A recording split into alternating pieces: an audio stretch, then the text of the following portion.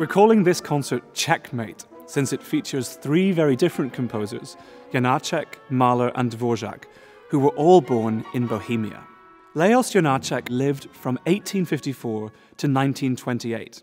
His modern reputation rests mainly on his operas, including The Cunning Little Vixen, Jenufa, and From the House of the Dead. But during his lifetime, Janacek was known much more for his instrumental music. He wrote his most characteristic music at the end of his life, so despite his dates, he's much more a 20th century composer than his two Czech compatriots on this program, Dvorak and Mahler. Janacek's music often works by contrasting blocks of different harmony. Frequently, he uses whole tone scales and the modal music of his native Moravia, piling up repetitive blocks of music in a very 20th century way. His two best known orchestral works are the Sinfonietta, written for an outdoor gymnastics festival, and the tone poem we will perform on this program, Taras Bulba. Janacek was deeply interested in Russian culture. Several of his operas are based on Russian folklore. He composed Taras Bulba between 1915 and 1918, basing it on a novel by Nikolai Gogol. The story concerns the 1628 war between the Cossacks and the Poles, and the events surrounding the death of the Cossack leader, Taras Bulba. Janacek dedicated the score to the Czech army.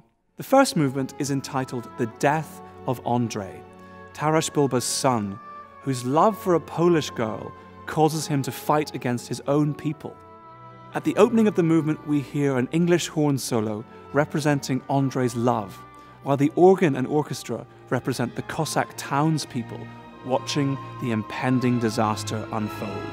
The movement ends with Andrei's death at the hands of his own father, Taras Bulba. The second movement, the death of Ostap, describes the death of Taras Bulba's second son. Ostap is captured by the Poles, who dance a mazurka and torture him. Janacek depicts the torture with a lurid E flat clarinet solo. Finally, the third movement paints a picture of the prophecy and death of Taras Bulba himself. Taras Bulba has avenged his son's death, but has been captured and sentenced to death by burning. We hear a nostalgic love theme and some typically Janacekian cartoon like dance music. The coda depicts Taras Bulba's vision of his nation's future triumph, establishing him as a national martyr. For this final scene, Janacek composed one of the most bizarrely quirky and poignantly beautiful themes in all Czech music.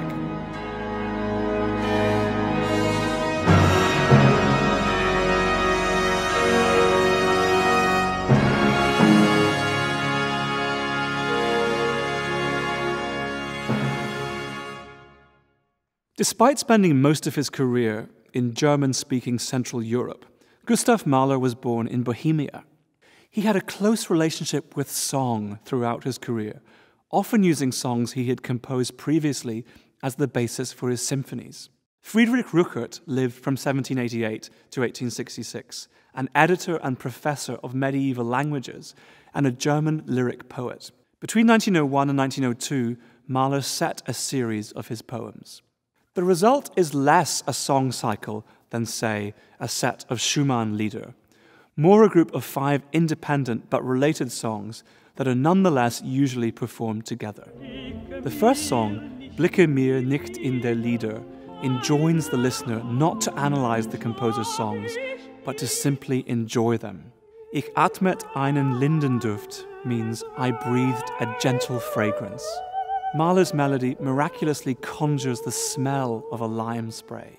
The third song, Um Mitternacht, is the longest. It's a description of romantic yearning to understand the longings of the soul at the spiritual hour of midnight. The next, Liebst du um Schönheit, was the last composed and the most traditional in form. Mahler wrote it as a gift to his wife, Alma, who was in distress. Sometimes she felt madly in love with Mahler, at other times she felt nothing. Mahler noticed that something was not right with his wife and reacted in his own way, composing a song for her. He designated his setting as Privatissimum to you. The essence of the song is contained in its final lines Love me for love, not for youth or beauty or riches. The final song, Ich bin der Welt abhanden gekommen, is especially beautiful, describing the romantic artist's sense of separation from the world. I am lost to the world with which I used to waste so much time. These words could have been written by Mahler himself. After an orchestral introduction, the words and music evoke the peace achieved through the poet's withdrawal from the everyday turmoil of the world and his absorption in the most meaningful and central aspects of his life his heaven, his life, and his song. For these performances, we are joined by the wonderful English mezzo soprano Jennifer Johnston.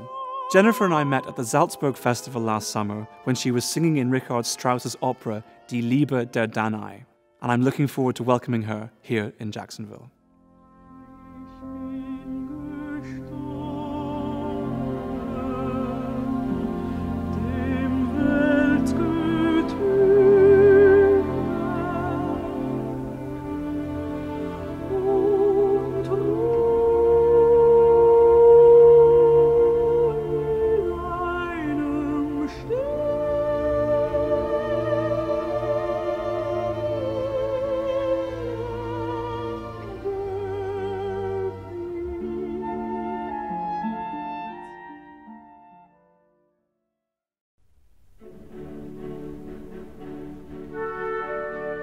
Nature is never far away in Dvorak's music.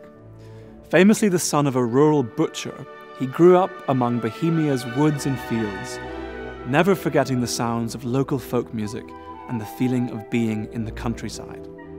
Dvorak wrote his Sixth Symphony in 1880. He was 39, and although well known, he had not yet achieved the world fame he would in later years. For me, the Sixth, Seventh, and Eighth Symphonies are Dvorak's masterpieces. There is a wonderful spontaneousness, lightness, and maybe even naivety that is lost in the much loved Ninth Symphony from the New World. The first movement epitomizes this ease and lightness of style. Over a rocking accompaniment in the strings, we hear an incredibly simple melody of a rising fourth and a gently ascending theme that seems to contain all the grandeur of life itself. The second movement is a meandering improvisation on a recurring theme. Again, music we could imagine outdoors in the heat of summer. The third is a furiant, a wild Czech dance characterized by syncopated cross rhythms. You might recognize this style from Dvorak's famous sets of Slavonic dances.